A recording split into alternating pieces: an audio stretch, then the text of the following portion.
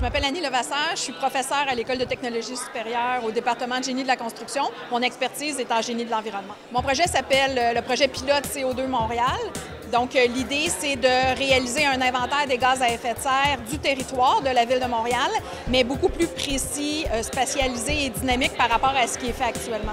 Bien, un exemple, c'est qu'actuellement, on arrive avec des données puis des hypothèses assez grossières à faire un inventaire une fois par année. Euh, mais là, maintenant, avec toutes les données disponibles au niveau des transports, par exemple, avec les nouvelles technologies, on a plus de données, que ce soit, par exemple, les positions des gens avec les téléphones cellulaires ou au niveau des bâtiments, par exemple, d'y aller plus précisément, bâtiment par bâtiment, avec, en fonction de l'énergie qu'ils vont consommer. Donc, on voudrait avoir une carte de Montréal avec les émissions qu'on voit évoluer à travers le temps. Parce qu'actuellement, dans le fond, on a un chiffre pour l'ensemble du territoire. Donc, on aimerait avoir sur une carte l'évolution des émissions quand on veut réduire nos émissions, bien, il faut commencer par les mesurer. Donc, d'avoir un outil beaucoup plus robuste euh, et précis, euh, ça va nous permettre d'avoir une meilleure image. Puis après ça, d'être capable de voir l'impact des mesures de réduction qu'on veut implanter, voir comment ça réduit nos émissions.